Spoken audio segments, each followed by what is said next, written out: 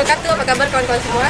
Oke, kali ini saya akan uh, mendatangi salah satu pondok baca inspirasi yang ada di Kecamatan Ujung Batu.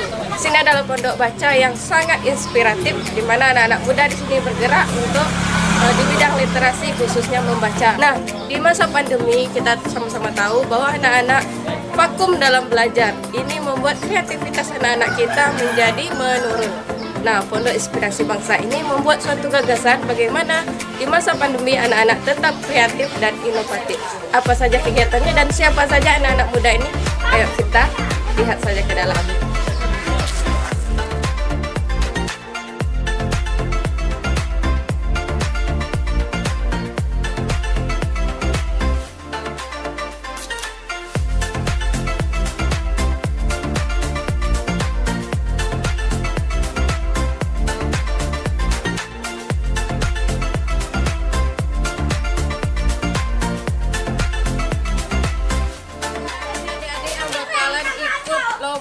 Mendongeng. Kita tanya ya, kira-kira dongeng apa saja yang mau mereka bawakan. Ini siapa namanya? Eca, nanti ikut lomba. Baca dongeng. Dongeng apa? Dongeng Cinderella. Yang ini?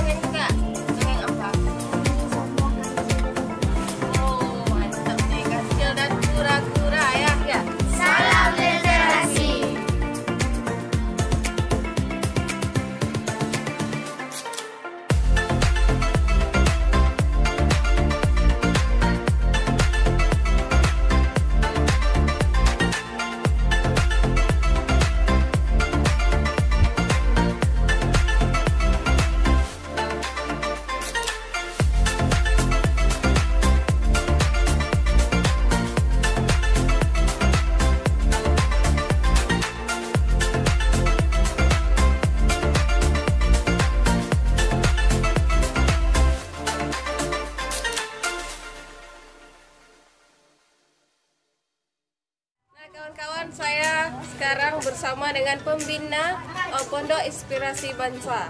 Nah, beliau ini juga seorang pelukis yang hebat, kawan-kawan. Nanti di dalam kita lihat lukisannya ya. Sekarang kita wawancara dulu. Assalamualaikum warahmatullahi wabarakatuh. Udah, saya manggilnya udah. Apa kabar? Sehat ya? Nah, ini sebenarnya pondok ini sudah berdiri berapa lama? Eh, terhitung kurang lebih dua bulan. Dua bulan. Uh, kegiatan apa saja yang sudah dilakukan? Eh, kegiatan yang pernah dilakukan itu eh, mengolah kertas menjadi bahan layak, eh, layak pakai. Tentunya di sini ya daur ulang, jadi kertas-kertas yang sudah terpakai kita mencoba untuk mengolah dan membuat kertas. Nah, awal mula latar belakang berdirinya Pondok Baca ini gitu.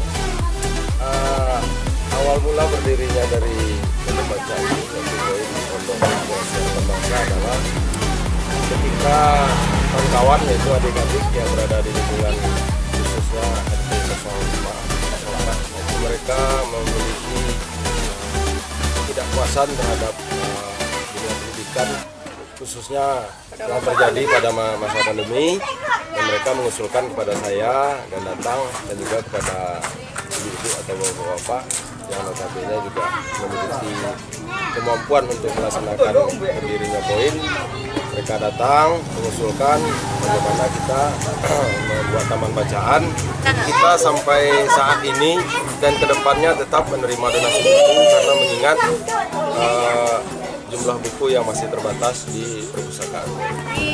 Semua kalangan mau mendonasikan buku untuk bahan baca bagi anak-anak kita di masa pandemi ini bisa langsung diserahkan Pondok Inspirasi Harapan Bangsa Jalan Mangga kawan-kawan ya. Eh, nanti kita akan ada kegiatan lomba dongeng ini ya. Iya. Lomba dongeng untuk tingkat Eh, tingkat tingkat- SD. SD, iya tingkat sekolah dasar. Nah, kita lihat bagaimana sih antusiasnya anak-anak untuk mengikuti kegiatan dongeng pada masa pandemi di mana anak-anak sekarang sudah banyak berkegiatan di rumah apakah mereka masih kreatif dan produktif? Kita simak nanti ya kawan-kawan oke udah terima kasih atas wawancaranya. Semoga pondok ini selalu menginspirasi dan uh, menghasilkan karya-karya lagi yang luar biasa. Oke? Nah kawan-kawan saya sudah bergabung bersama uh, anak-anak uh, muda pendiri Poin Pondok Inspirasi Bangsa ya Pondok Baca Nah, kali ini kita akan wawancara sih siapa saja mereka tokoh-tokoh yang luar biasa ini ya. Halo kawan-kawan, apa kabar? Baik ya. Nah, ini siapa namanya? Anissa. Ini? Itu yang datang? Hidayat. Iya. Lanjut. Terus? Ali.